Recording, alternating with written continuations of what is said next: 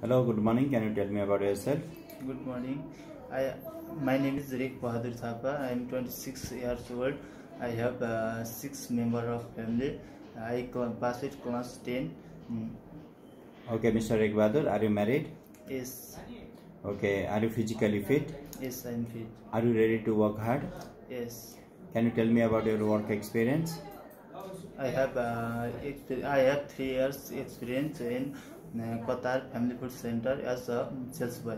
Okay, uh, so you can work as an unskilled worker or factory worker in Romania. Yes, Can you do loading and unloading? yes, I can. Can you lift the weight up to 20 kg? Yes, I can. Are you comfortable uh, doing the cleaning of uh, waste management? Yes, I can. Okay. Are you comfortable working long hours duty when required? Yes, Can you work in any weather, climate, inside or outside there? yes, Can you work in any industry, company, factory, any place there? yes, I can do. Would you like to stay there for a long time? Yes, maybe uh, five to six years. Okay. Do you have any medical or health problem? No, Do you have any friends or relatives staying in Romania? no, I don't have. Okay, so you are ready for any work, any challenge, right? Okay, thank you. welcome.